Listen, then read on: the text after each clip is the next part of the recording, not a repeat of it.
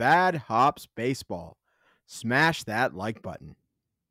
Angel Hernandez, the Dean of Clown College, the gift that keeps on giving.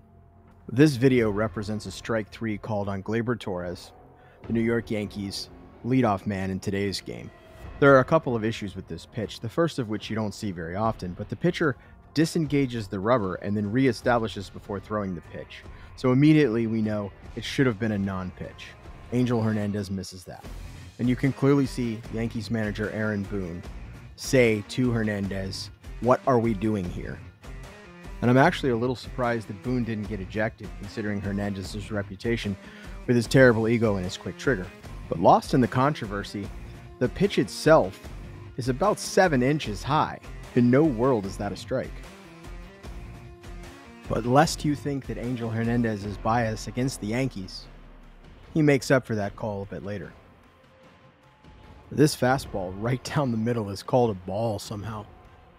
And I'm quite certain that the excuse, or at least the argument for the excuse, will be that the catcher was going to throw down to first and that distracted the umpire. But you can't miss calls this badly. This creates the argument for robot umpires, which I do not support. What I do support, though, is getting Angel Hernandez out of the major leagues and back to Clown College where he belongs. Bad Hops Baseball. Smash that like button.